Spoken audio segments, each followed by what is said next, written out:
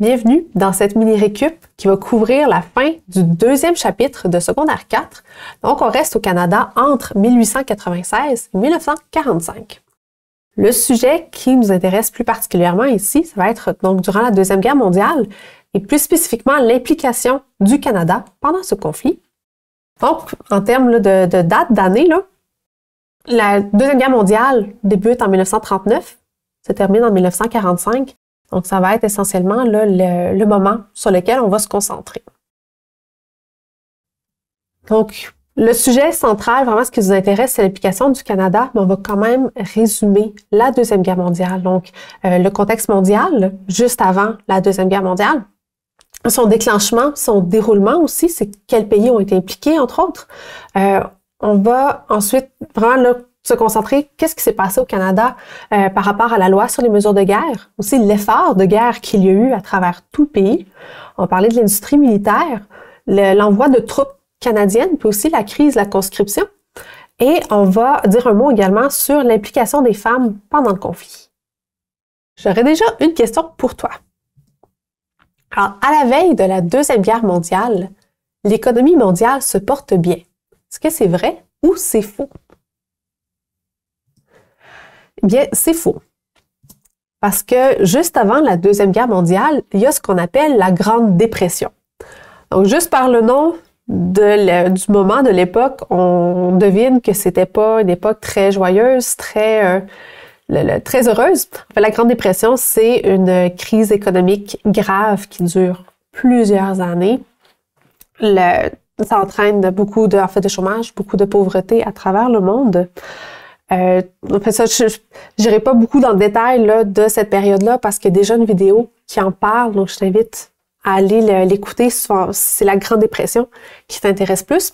Mais en fait, j'en parle ici parce que la Grande Dépression, euh, bon, c'est ça s'est produit dans un contexte où le capitalisme puis le libéralisme économique étaient très, très, très présents, ce qui fait en sorte que l'État intervient peu dans l'économie. Il y a une grande liberté qui est laissée aux entreprises, qui est laissée au marché.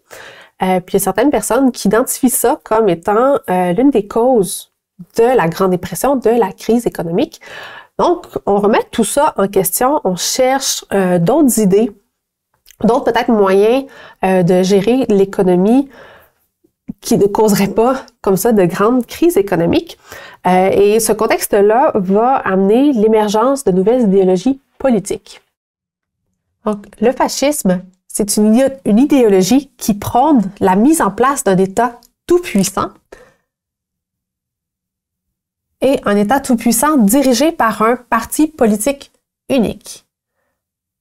Donc, il n'y a pas donc, 5-6 partis comme ça qui peuvent accéder au pouvoir il y a un parti politique qui contrôle tout.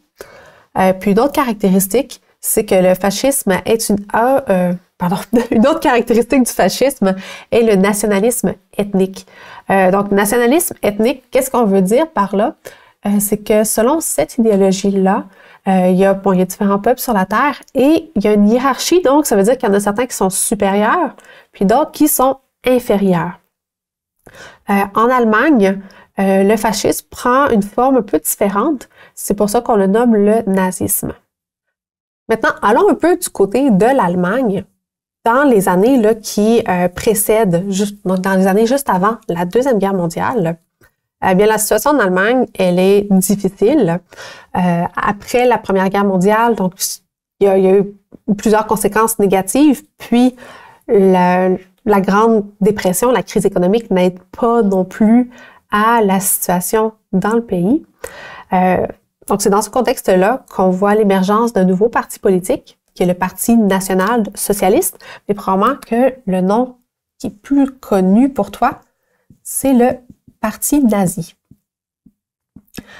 À la tête de ce parti-là, il y a Adolf Hitler, que je mentionnais tantôt.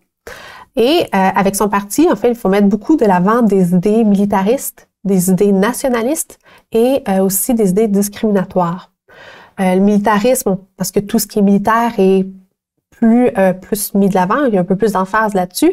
la nation allemande aussi, tout le côté nationaliste, le, le, pays, donc la nation allemande est vraiment mis de l'avant également. Et les idées discriminatoires, en fait, c'est envers plusieurs minorités, mais plus particulièrement envers les personnes de religion juive, parce que pour certaines personnes, en fait, ont la conviction que la perte, la défaite de l'Allemagne pendant la Première Guerre mondiale serait liée à des actions de personnes juives. Donc, on, euh, on, les, on les blâme pour la perte, en fait, la défaite de l'Allemagne pendant la Première Guerre. Donc, ça va amener, comme ça, de, la discrimination envers les personnes juives. Euh, puis, en fait, Hitler, lui, il est élu à la tête de l'Allemagne en 1933 et il va euh, promettre de redonner de l'emploi aux gens. Donc, beaucoup de chômeurs, on va redonner de l'emploi pour euh, permettre aux gens de gagner leur vie. Euh, puis aussi, Hitler va relancer beaucoup l'industrie militaire. Donc, c'était interdit par le traité de Versailles avec la, la Première Guerre mondiale, euh, mais Hitler va quand même aller de l'avant avec cette idée-là. Qu'est-ce qui déclenche la Deuxième Guerre mondiale? C'est l'invasion de la Pologne par l'Allemagne. Euh, cette invasion-là entraîne la réaction de deux alliés de la Pologne, deux alliés qui sont le Royaume-Uni et la France, qui vont, eux, déclarer la guerre à l'Allemagne. Donc, en gros, en fait, les, forces en présence qui, euh, participent à la guerre, ben, il y a les forces de l'Axe d'un côté, qui sont formées par l'Allemagne, le Japon et l'Italie. Et de l'autre côté, il y a les forces alliées, donc le Royaume-Uni, la France, comme je viens de le mentionner. Euh, il y a également les États-Unis et l'Union soviétique qui se joignent aux forces alliées. Et là, le Canada, juste pour mentionner, en fait, le Canada fait partie des forces alliées. Euh, il a décidé par lui-même d'entrer en guerre parce que depuis 1931, avec le statut de Westminster, le Canada a la liberté de prendre cette décision-là. Il n'a plus à suivre le Royaume-Uni Maintenant, le pouvoir de décision, il est vraiment au Canada. Donc la guerre, euh, comme on a dit au début, la guerre dure de 1939 jusqu'à 1945. Euh, au départ, ce sont les forces de l'Axe qui ont l'avantage, qui gagnent beaucoup de terrain, mais euh, par après, l'avantage change de camp et c'est les forces alliées qui prennent le dessus et qui finalement remportent la victoire. On ne pourrait pas aborder la Deuxième Guerre mondiale sans aborder l'antisémitisme et l'Holocauste. Et qu'est-ce que l'antisémitisme? Est-ce que c'est un mouvement contre l'utilisation des bombes, le racisme dirigé contre les personnes de religion juive, un groupe de l'armée chargé de la défense aérienne?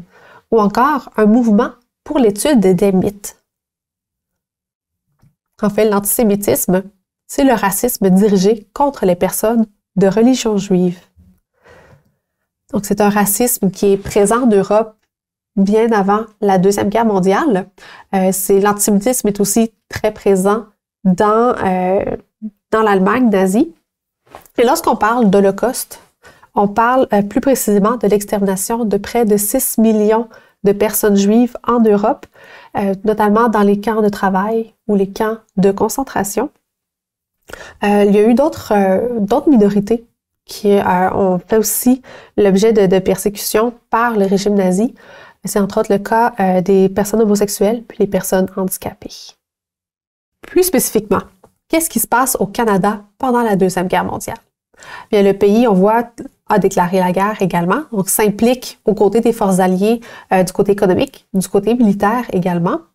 Il n'y a pas de bataille qui se déroule sur le sol canadien, et ça change rien au fait que le pays va quand même beaucoup s'impliquer, à la fois par ses industries, mais il y a la population aussi qui va mettre l'épaule à la roue pour l'effort de guerre. Quel est le nom de la loi qui donne plus de pouvoir au gouvernement pour une période donnée? Est-ce que c'est la loi pour faire des choses importantes? Est-ce que c'est la loi sur les mesures de guerre? Ou encore la loi sur la production de guerre ou la loi sur la conscription? La loi dont il est question, c'est la loi sur les mesures de guerre. Au déclenchement de la guerre, ça entraîne des mesures spéciales et c'est pour ça que le gouvernement fédéral, le gouvernement canadien, décide de mettre en place la loi sur les mesures de guerre euh, parce que ça lui donne plus de pouvoir en temps, spécial. Le pays est en guerre, donc avoir plus de pouvoir pour euh, réaliser ce qu'ils jugent essentiel à l'effort de guerre. En résumé, la loi sur les mesures de guerre permet au gouvernement de planifier la production du pays pour s'assurer qu'elle répond aux besoins de la guerre. Donc, entre autres, euh, des munitions, des armes. Euh, par exemple, une usine qui euh, produisait des rideaux, par exemple, pourrait être demandée donc, par le gouvernement de produire à la place soit des, des parachutes ou des uniformes pour les forces armées. Puis la loi sur les mesures de guerre, elle permet aussi de fixer les prix et les salaires. L'effort de guerre, il touche à tout plein d'aspects dans la vie des gens et aussi dans l'économie du pays. On voit l'effort de guerre, entre autres, euh, dans le rationnement qui a été mis en place. Euh, le rationnement, c'est de réduire, en fait, de limiter la consommation de certains biens, de certains produits pour que ces produits-là puissent être utilisés pour répondre aux besoins de la guerre. Donc, entre autres, le rationnement, ça va toucher l'essence, parce qu'on veut garder l'essence pour les forces armées, entre autres. Euh, il y a aussi le, caoutchouc, le sucre, la viande qui vont être rationnés pendant la période de la guerre. Donc, c'est un effort que la population, mais aussi les industries doivent faire pour, comme ça, mettre les ressources là où c'est le plus important pendant l'effort de guerre. Euh, il y a l'industrie militaire qui, comme on s'y attend, se développe énormément. Euh, donc, la production au Canada d'armes, de munitions, d'avions, de, véhicules militaires. Euh, la production augmente énormément. Les, industries, fonctionnent à plein régime, ce qui quand même fait changement de, la période de la Grande Dépression. Donc, on produit plein, plein, plein, plein, plein. Euh, puis le gouvernement canadien investit énormément et entre autres aussi, il va fixer les salaires. Comme, encore là, comme la loi sur les mesures de guerre lui permet. Et d'un côté, l'agriculture puis l'industrie alimentaire se développent énormément dans le pays, entre autres parce que il faut nourrir les troupes, il faut nourrir les, forces armées, mais également c'est que le Canada euh, soutient ses alliés en Europe pour les aider à se nourrir pendant la guerre, puis aussi un peu après. Des milliers de personnes rejoignent les rangs des forces armées canadiennes. Certaines sont envoyées au front, en Europe ou ailleurs. D'autres vont œuvrer à partir du Canada. Mais comme lors de la Première Guerre mondiale, la question de la conscription se pose. Mais qu'est-ce que la conscription? Est-ce que c'est une division du territoire représentée par un député? Est-ce que c'est l'imposition du service militaire pour une partie de la population? Ou est-ce que c'est l'imposition d'un couvre-feu? Mais la conscription, c'est l'imposition du service militaire pour une partie de la population. Au début de la guerre, le gouvernement canadien promet de ne pas imposer la conscription au Canada. Donc, de ne pas imposer l'obligation du service militaire pour une partie de la population. Euh, les gens s'enrôlent à ce moment-là, s'enrôlent vraiment selon leur volonté. Il n'y a aucune obligation. Euh, on voit chez les Canadiens anglais qui ont plus tendance à s'enrôler que les Canadiens français. Mais pour la guerre commence, la guerre continue. Donc, vers 1942, il y a de plus en plus de pression envers le gouvernement canadien d'augmenter sa participation euh, à l'effort de guerre, augmenter sa participation pour aller aider les Alliés dans leur combat. Donc, entre autres, avoir plus de soldats. Donc, à ce moment-là, la question se pose parce que bon, la conscription aiderait à aller chercher plus de gens, mais on a promis de ne pas l'imposer. Donc, ça fait en sorte qu'en avril 1942, le gouvernement de William Lyon Mackenzie King organise un plébiscite, c'est-à-dire qu'il organise un vote pour carrément demander aux gens euh, si, euh, il faut ou non imposer la conscription. Les réponses à ce plébiscite-là sont intéressantes parce qu'il y a 80% des, dans le Canada, donc 80% des gens qui répondent oui, donc qui sont pour la conscription. Mais si on regarde uniquement euh, les votes qu'il y a au Québec, donc plus côté du Canada français, les réponses, c'est 71% mais contre la conscription. Donc, les Canadiens français s'enrôlaient moins volontairement dans les forces armées, mais sont pas prêts non plus à avoir la conscription.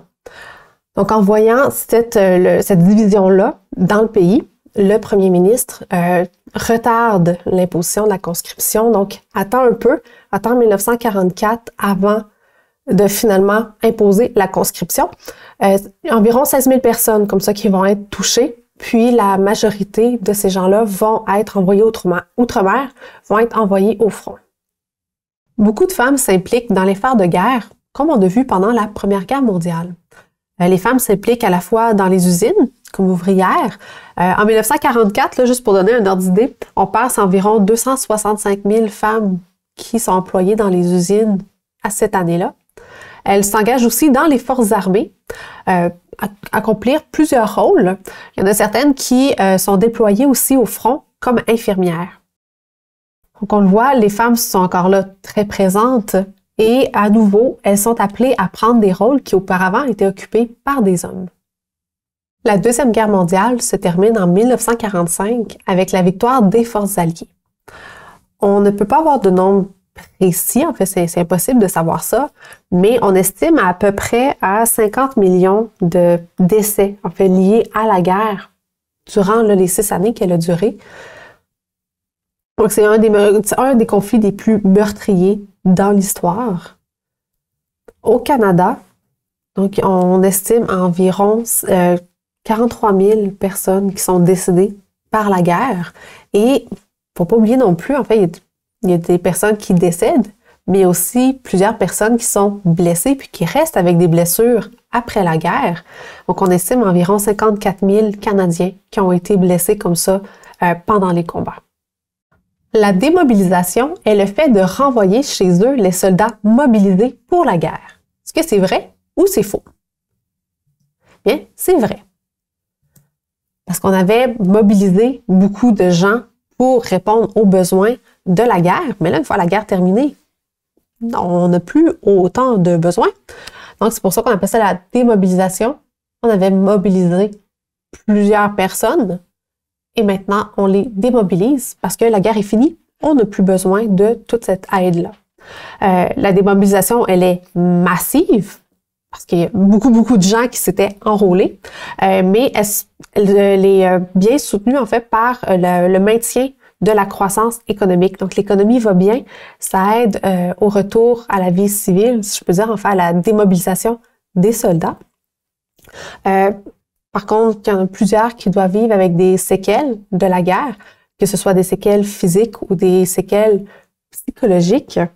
il y a des mesures gouvernementales pour les aider, euh, les aider entre autres à se trouver un nouvel emploi. Et il y a aussi euh, possibilité d'avoir des compensations. Il faut quand même mentionner que euh, les, les personnes autochtones qui s'étaient enrôlées, qui s'étaient en fait, qui s'étaient mobilisées, c'est très difficile, en fait, voire impossible pour ces personnes-là d'avoir accès à l'aide du gouvernement, avoir accès aux compensations du gouvernement. Euh, du côté aussi, on va retourner en fait du côté des femmes. Donc, on se rappelle que c'était elles aussi beaucoup mobilisées, entre autres dans les usines, dans les forces armées. Euh, il y a certaines femmes qui vont décider de garder leur emploi après la guerre. Par contre, elles vont demander de meilleures conditions de travail, puis euh, de meilleurs salaires aussi, parce que ben, elles pas un salaire, en fait, elles ont un salaire plus petit que celui des hommes. Puis il y a beaucoup de femmes aussi qui vont perdre leur emploi parce qu'elles vont être renvoyées à la fin de la guerre entre autres, l'idée, c'était de libérer des emplois pour les hommes qui revenaient du front et qui devaient se trouver un emploi dans la vie civile. Alors, tout ça fait le tour de cette mini-récup sur la Deuxième Guerre mondiale et l'implication du Canada. Euh, pour compléter ta révision, je t'invite à écouter les autres vidéos pour le reste du module.